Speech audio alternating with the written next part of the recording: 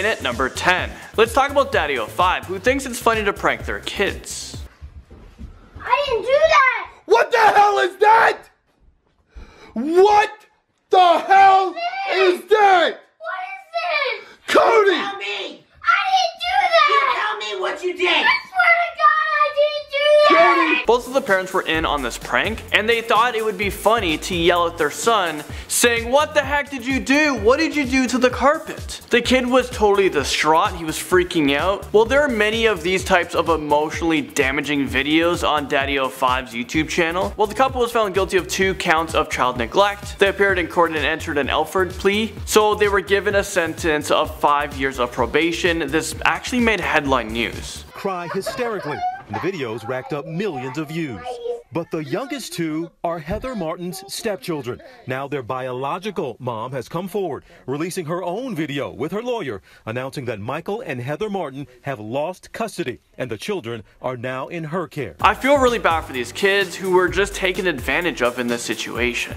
They're so young and they don't really know what's going on. Let's move on to number 9, we have Sam Pepper. Sam Pepper has had a very controversial YouTube career. Over the years, he has been accused of rape, sexual assault by multiple women. Sam Pepper is also a prankster who has been seen often in his YouTube videos harassing women on the streets, and most of his videos take place in Los Angeles. and he had a fake arm that looked like his hand was in his pocket, but then with his real hand, he would ask women's questions to distract them and then reach over and grab their butts. Is this real life right now? Why is this even a prank? I, I don't see where the prank is here. Sam Pepper wasn't the smartest because he filmed himself committing a crime and he uploaded it onto YouTube for everyone to see. Back in 2014, an 8-year-old woman filed an incident report with the Los Angeles Police Department alleging that Sam Pepper raped her. Apparently the evidence wasn't compelling enough, so he wasn't arrested for that. Well, in 2016, Sam Pepper broke into an abandoned building and a police officer drove by and they noticed people inside of it. Sam Pepper took off, he tried to run away from the police, so the officer pulled beside Sam Pepper and this is what happened. and this cop car just is screeching up behind us.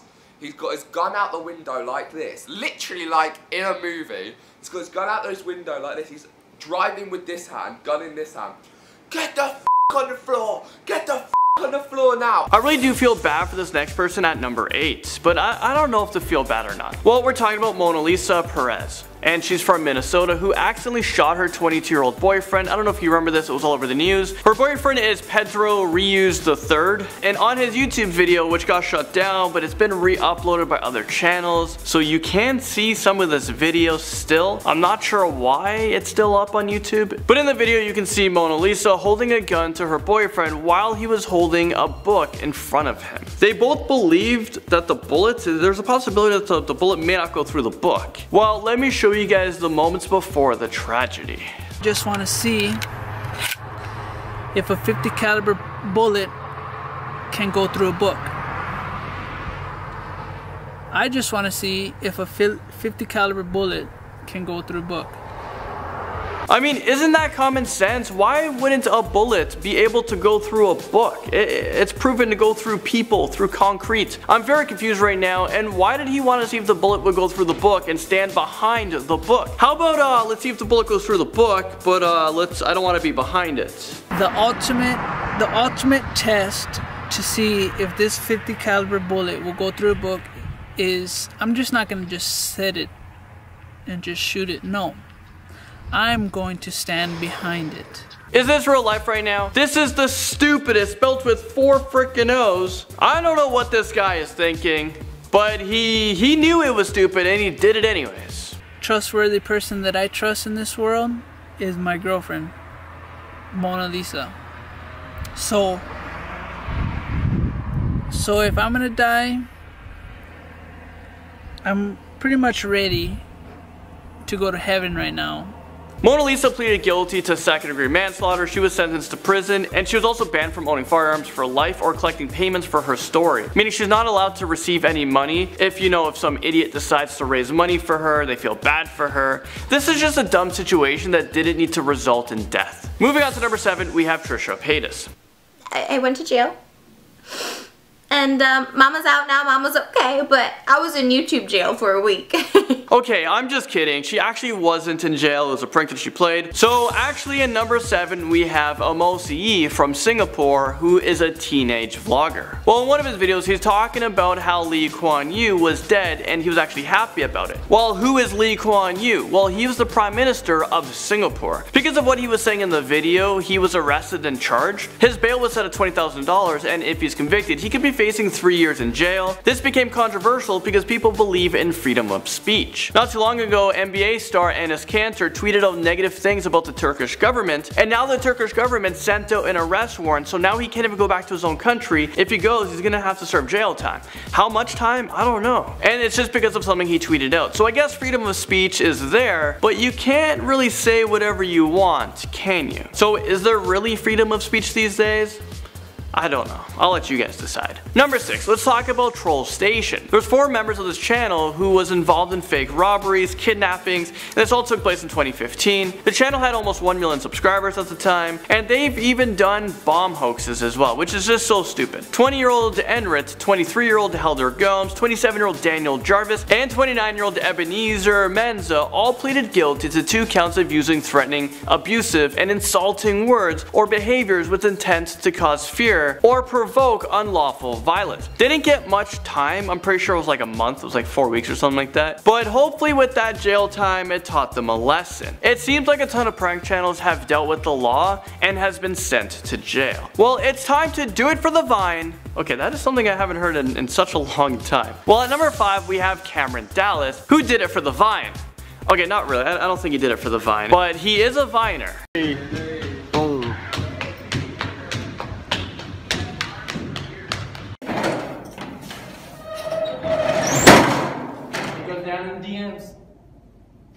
Some of y'all really need Jesus. Can I get an ow? Well, he got himself arrested. Cameron decided to throw an insane party because why not? He's young, he's a YouTuber, he's making money. Well, things got out of hand and police were called. Well, the police settled things down and they left. Well, they were called back again. And this time when they showed up, there was a paint can thrown out the window. It was a sixth floor window and the paint can almost hit a woman. I'm assuming that's the woman that called the police. Well, there was paint just everywhere. Cameron was arrested on charges of felony of vandalism and he was held in $20,000 bail. At number 4, we have Cali Muscle, a guy that I've actually made a video with not too long ago. I'm not sure if you guys remember it. Well, Cali Muscle we know as this like really big YouTuber, well, big as in like a lot of views and big as in like muscles. This guy's like beast. Well, did you guys know that he served hard time? Well, I guess for you guys who are fans of him, you guys know about it because he does talk about it a lot. Well, Cali Muscle is a bodybuilder who is originally from Oakland, California, and when he was younger, he took the wrong path in life. He got into a ton of trouble with the law. Not too long after the death of his brother, Cali Muscle found himself behind bars after an armed robbery. He spent 11 years in prison, he moved around from prison to prison, and he spent 7 years in San Quentin prison, which is a pretty tough prison. He would train daily in prison to build up his muscles into, you know, what they are today. This guy is a total beast. glorified prison, jail, none of that. Because for me, truthfully, it was a waste of 11 years. But I'm here to say you better find another way, and I did it. Cali Muscle truly has a very inspiring story, and now he has a very positive outlook on life. And now he's making money the right way. I highly recommend you guys check out the Cali Muscle story. It's a video on his YouTube channel. It's called Monster, the Cali Muscle story. I'll link to it down below. And uh, you guys should go over to his newest videos and put hashtag most amazing top 10 sent me here. Let's give him a shout out. Number three. For the first time ever, you're about to hear the 23 year old confess to Texas Rangers how he killed his parents and older brother in cold blood. I just don't understand how people are capable of doing such a thing. Back in 2012, when Sessler was 23 years old, he murdered his parents and brother before attempting a mass shooting at Waller High School. This is the same high school he attended. This guy's YouTube channel is LensCap Productions. He posts anime, gaming reviews, there were some videos of his brother and his pets. As his YouTube videos went on, he started to introduce guns, first comedy skits and demonstrations. Sessler has confessed to everything and when he was asked, why did he do it? Why did he kill his family? And he had an answer to that. He said, He wanted to spare his family with what he was about to do, which was becoming a school mass shooting. Things are about to get even worse. Number 2, we have school shooter Pekka Erik Auvinen. He went by the username on YouTube as Sturmgeist89 and Natural Selector 89. He actually uploaded videos onto his YouTube channel about school shootings and violent acts, including the Columbine High School massacre and the Tokyo subway attack, and even had videos of the bombing during the Iraq invasion. Back on November 7th, 2007, Pekka Auvinen entered Jokela High School in Jokela, which is located in a town in Tuusula, Finland. The kid was just 18 years old when he entered the school, armed with a semi-automatic pistol. He killed 8 people, and there was another person who was wounded after they got shot in the toe. He then turned the gun on himself and tried to take his own life. Pekka survived his own gunshot, he was rushed to the hospital. Later that evening, he actually died in the hospital. This was the second school shooting in the history of Finland. The previous shooting was back in 1989. I'm not sure how you even top that one, but uh, finally at number one, we have the mass murderer, Elliot Rodger. Hi, Elliot Rodger here. Well, this is my last video. It all has to come to this. Tomorrow is the day of retribution. The day in which I will have my revenge against humanity. What is he talking about? Well, in the video he's talking about how he's trying to kill as many people as possible because he has lived a life of loneliness and he mentions that no girl would give him attention. I mean, this kid is 22 years old. I wouldn't be too worried about that. I mean, this is just insane. But this sick guy decided to try and kill as many female blonde girls as possible. The day after he filmed this video, he did exactly what he said in the video. He went into the University of California and he opened fire. Just before he did that, he stabbed people in an apartment. He killed 6 people, injured 14 others before killing himself inside of his vehicle. The victims were ages 19 to 22 years old. Elliot uploaded his last ever video onto YouTube and he titled it Elliot Rodger's Retribution. After uploading the video, he emailed a lengthy autobiographical manuscript to some of his acquaintance, his therapist, and several family members as well. The document was titled My Twisted World, the story of Elliot Rodger. It then became available online and now it's known as his manifesto. In it he's talking about family conflicts, his struggles in life, especially his childhood, and as he grew older he gained a hatred for women. He didn't like interracial couples, this guy was just sick, simply said. Starting off this list in our number 10 spot, we have Nikki and Dan Phillippi. I don't know if that's how you say their last name. Okay, so I'm sure a lot of you are not surprised to see this couple on today's list, considering their recent scandal. Just a few weeks ago, the couple uploaded a video where they explained that they had euthanized their nine-year-old bull terrier named Bowser because the dog had bit their young son Logan. This is of course a terrible situation, but the details surrounding it are what has people freaking out. The couple explained that Bowser didn't attack Logan but that he bit him because Logan was trying to take away his food. The pair also explained how Logan wasn't seriously injured, he just had a mark, but also how Logan had previously hurt the dog's ear just prior to this incident, and that encounter left the dog with a scar. The couple also took a photo shoot with Bowser before putting him down that included Logan being right next to him, so Logan obviously wasn't afraid of Bowser, and Bowser clearly wasn't afraid of or aggressive towards Logan. Nikki and Dan also explained that they had contacted the Humane Society about rehoming the dog, to which the Humane Society said that they couldn't, but when contacted, the Humane Society said that no interaction ever took place. To end off their weird video, the couple said that while they loved Bowser, it had become difficult to care for him once they had their son. They also said that they were planning to move soon and already had begun to have conversations about what to do with Bowser, since there's a lot that goes into transporting him.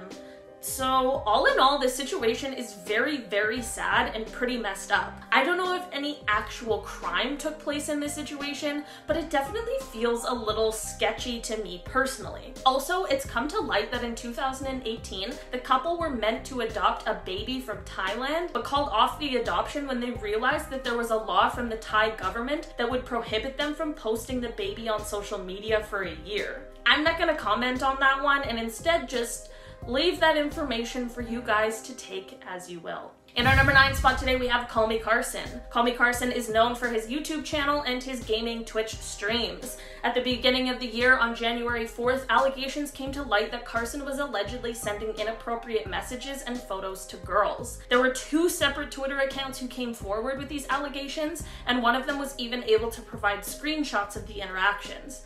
After news of this spread, in one week alone, he lost over 300,000 subscribers, and ever since then, he has remained off of social media and hasn't made any public addresses, as far as I know. It is unclear if there is any kind of criminal investigation happening. In our number 8 spot today, we have Minilad. Minilad was a super popular YouTuber and Twitch streamer with over 5 million subscribers, but the beginning of the YouTuber's controversy began a few years ago when old tweets of his resurfaced. These tweets featured both racial slurs as well as homophobic remarks. Unfortunately, though, the controversy didn't end there. Last year in 2020, two women spoke out about how he had manipulated them when he was in his 20s and they were only teenagers, which of course means that they were underage. Shortly after this, his ex girlfriend also spoke out saying that their relationship was extremely toxic and very manipulative. He apologized on Twitter and said he was taking a break from social media and attending therapy, but when he returned to YouTube in August of last year, his videos were met with a ton of negative feedback, as a few months, of course, cannot undo what these people were accusing him of. He released a few more apology videos, but as of last year, he hasn't posted an upload. He has made his intention to return to YouTube clear though, as he stated he would when he thought the time was right. In our number 7 spot today, we have TmarTn2.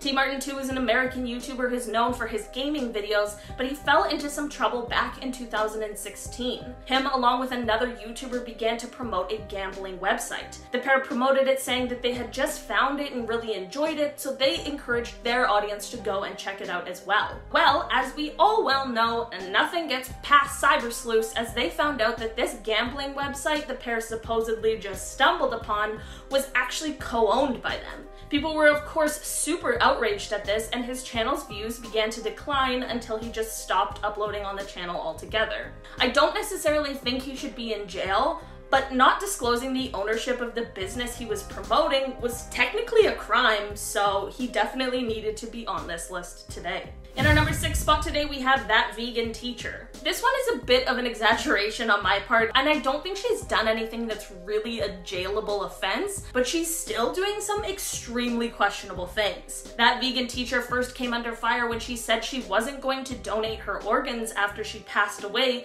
because she didn't want any meat eaters to have them. Not only does that seem a little dramatic, but it truly seems like something she could have just kept to herself. She is known for her replies to anyone who has anything bad to say about her or her content, and has even been accused of stalking someone she had internet drama with, but I'm not sure how true that one is. Her TikTok came under fire when she said that coming out as vegan is more special than someone who is a part of the LGBTQIA plus community coming out, which is obviously not true considering vegans aren't a marginalized group, and also literally no one cares about your diet. She also controversially feeds her dog Bella a vegan diet as well, and there's the hashtag save Bella the dog, and even a petition on change.org about it. The final straw for a lot of people on her wild internet escapades started in March of this year when she uploaded a video saying that she should be able to say the N word because she should be able to reclaim the word.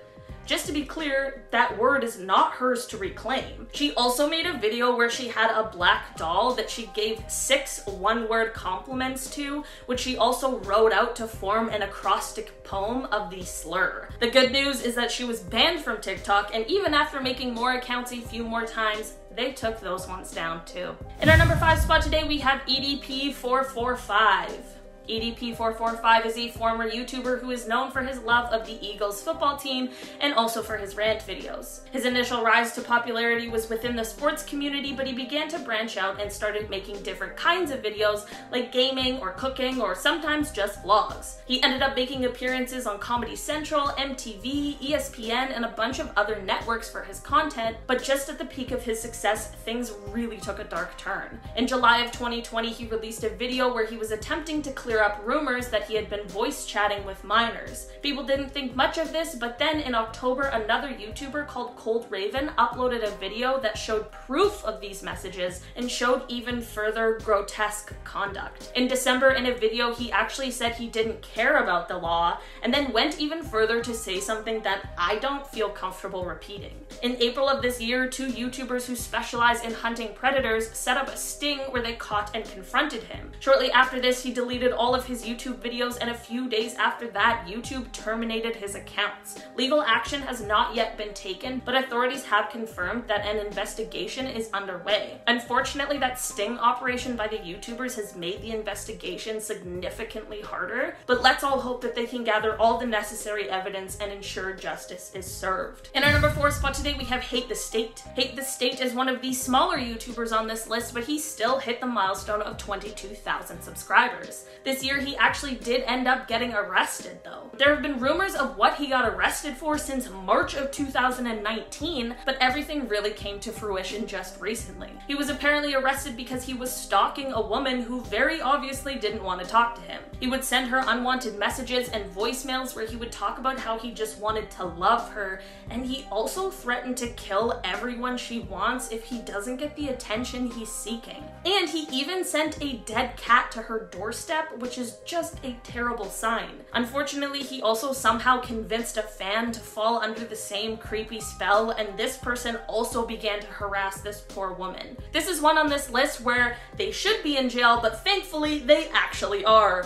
This YouTuber ended up getting sentenced to five years, and the fan will be serving 44 months. I can't imagine how terrifying that must have been for that young woman, and I hope when the jail sentences are up, there are steps put in place in order to keep them away from her and keep her safe. In our number three spot today, we have Maximilian Muse. Maximilian was a popular Call of Duty troll YouTuber who a lot of people know for his little meme comment thing he did in 2018. Earlier this year in February, Critical released a video where he exposed Max for some downright horrific things many of which I actually cannot repeat here today. Included in the video was manipulation, encouraging his fans to dox people or release people's personal details on the internet, or harassing and bullying other content creators. He would get his fans to go to other people's streams, whether they were large or small, and say homophobic and racist things to try and get them banned. Unfortunately, these aren't even the worst things. The place where the most deplorable acts took place were usually on Discord. There were a few times on calls where he took advantage of vulnerable people and made them do things that I'm sure they would not have normally done, and he would regularly have to delete Discord servers because of the images that were being shared, which would get anyone sent to jail. So you can imagine what that is. This is just the tip of the iceberg with this one, and somehow his channel is both still up and has close to 1.5 million subscribers. It's just one of those cases where you just aren't sure how. In our number two spot today, we have Artem S. Okay, so I actually wasn't able to find the YouTube account that was connected with this horrifying incident, but one of the three men involved was named Artem S. Artem began dating a 30 year old mother of three after her split from her husband. Unfortunately, Artem and his friends decided to do something absolutely unthinkable one night, all in an attempt to make money on a live stream. The men drugged this woman and began destroying her apartment, all for small donations on the stream. They said for every donation they would do more damage, which included ripping off doors, smashing toilets, breaking a fridge, and dishware. This was not all though, as they also violently attacked this woman as well on this live stream, all while laughing about it. The woman's family allegedly tracked down Artem and the other perpetrators and gave them a taste of their own medicine before passing the footage along to authorities who are now doing an investigation. It's hard to believe that people can do atrocious things like this, and it's also hard to believe that there are people who will watch and donate. In our number one spot today, we have Stas Reeflay. Stas Reeflay is a Russian streamer who did the absolute unthinkable last year on a live stream. He was offered a thousand US dollars to lock his girlfriend Valentina outside in the freezing cold. Unfortunately, he decided to do this and things really escalated. Valentina ended up passing away due to hypothermia after being left outside. He continued the live stream even after he had discovered what happened to her, and it saw him calling the paramedics, them showing up and pronouncing her dead, and then apparently he continued on for another two hours after that. Even while all of this was going on, he continued to update the people watching this stream instead of focusing on what actually really mattered in that moment. There were also apparently signs of trauma on her as well that would suggest he had hit her before locking her out in the cold. We have Borja Escalona. Borja Escalona is a YouTuber who had quite an issue earlier this year in 2021. For some reason, he decided it would be a good idea to head out and try to play a trick on people where he wore a razor and pretended to cut people's hair. I'm not exactly sure why this even happened at all in the first place, but things quickly took a dark turn. When he approached a person with the razor, the person pushed him away, which is honestly a very fair reaction, and this caused the razor to fall to the ground and break. After this, he chased this guy around saying that he should pay for the razor, and this is when he decided it would be a good idea to pick up and throw the razor at him. He ended up missing and actually hit a woman passing by in the face instead. She ended up suffering a fracture in her nose from this incident. I do believe that it was just an accident, but it's just a picture perfect example of exactly what not to do. In our number 9 spot today, we have Exurbia is a British YouTuber who is now located in Bulgaria but has an ongoing investigation out of the Netherlands.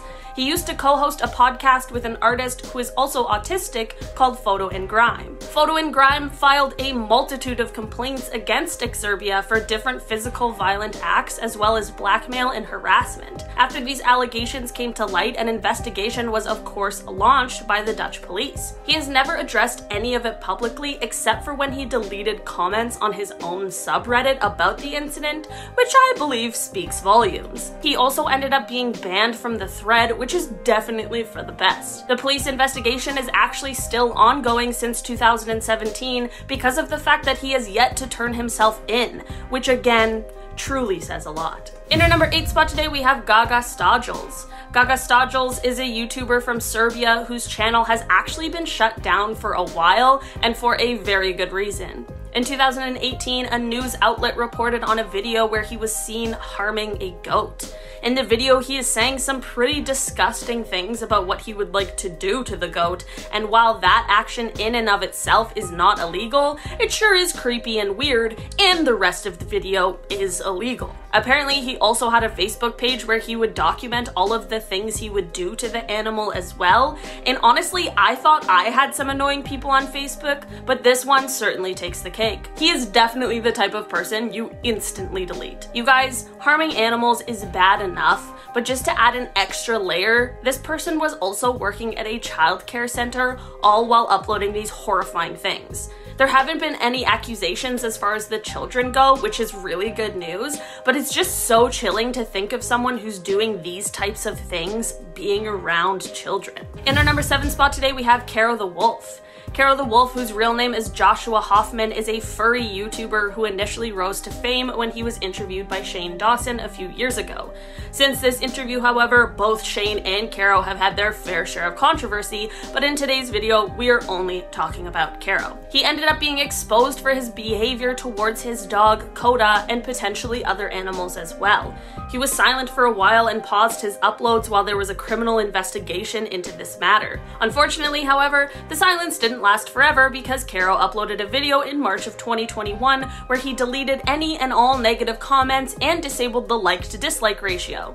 In the video, he would admit to his wrongdoings and explained that there was not enough evidence for the police to lay any official charges against him. In our number six spot today, we have Onision. Onision, whose real name is James Jackson, is an American YouTuber, and honestly, guys, are you even surprised he's on this list today? I can't go into a ton of specific detail about everything he did because we would be here for way too long, as well as the fact that some of the things he said are just things I cannot repeat on this channel.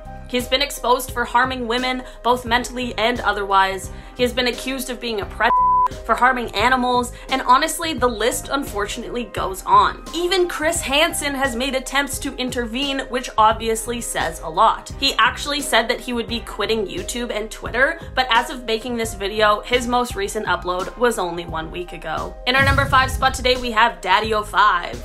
DaddyOFive, whose real name is Michael Christopher Martin, is an American YouTuber who I'm sure a lot of you have heard of, but for less than great reasons. This channel would see Michael and his wife along with Michael's children. It was a vlog type channel that quickly turned quite grim. The youngest child in the family is named Cody, and he would often get pretty brutally bullied by his family members, and it truly was hard to watch.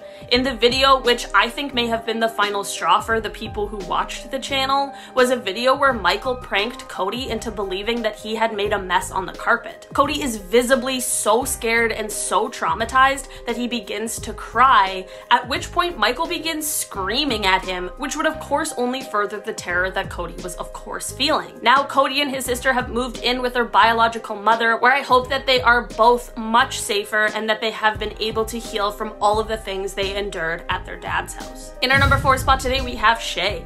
Shay is a YouTuber from Brazil who also used to be an esports player. Randomly, she was also in charge of running the public ministry of Sao Paulo's online retail store. You might be wondering why that is relevant, but just wait. Between 2013 and 2017, it was alleged that she scammed a total of 118 customers who tried purchasing items at this online store. Shay has said that it was due to bad administration and that there were many other items and customers that had no issue at all. She did end up being arrested and tried, and in a pretty crazy turn of events, in March of 2020, she was actually sentenced to 116 years in prison, which most definitely seems exceptionally extreme and unnecessary. Her lawyers, of course, appealed it immediately. She remains outside of jail currently and is still very active on social media. If she really did scam people, she probably should see some sort of punishment for that, especially considering she's not struggling financially. But I don't think 116 years in jail is exactly reasonable for a crime of this size. In our number three spot today, we have ImJayStation. I'm J Station is a Canadian YouTuber who is no stranger to controversy. In January of 2020, he did something very strange and extremely messed up when he uploaded a video saying that his girlfriend, Alexia Marano, had been killed in a car crash. Of course, the outpouring of sympathy was huge for him because that would obviously be an incredibly tragic situation, but here's the thing that didn't happen. Why would you lie about anyone passing away at all, let alone a real living person that people actually care about? It's just weird. Anyway, since that day, many people have come out to speak about Jay's alleged manipulative, abusive, and controlling behavior, more specifically towards women, especially those he was dating. There's a whole slew of other things that he has done that have caused controversy, such as his videos impersonating a police officer, his false claims of contacting dead celebrities through the spirit world, and also for spreading misinformation about the COVID-19 pandemic. His channel was officially terminated on March 12th of 2021, and he took to Twitter to call YouTube the worst platform ever, and he has even threatened to sue.